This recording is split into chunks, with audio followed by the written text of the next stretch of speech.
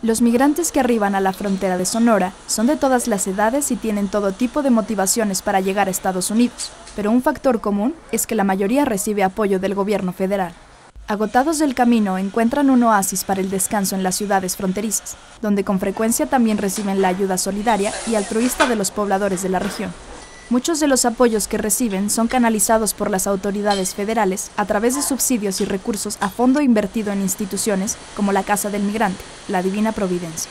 Los paisanos agradecen todos estos sustentos, los cuales les permiten seguir su camino hacia la Unión Americana, en donde esperan cumplir con el sueño americano que les brinde una mejor calidad de vida. Con información e imágenes de Juan José Romero, corresponsal en Sonora, Notimex.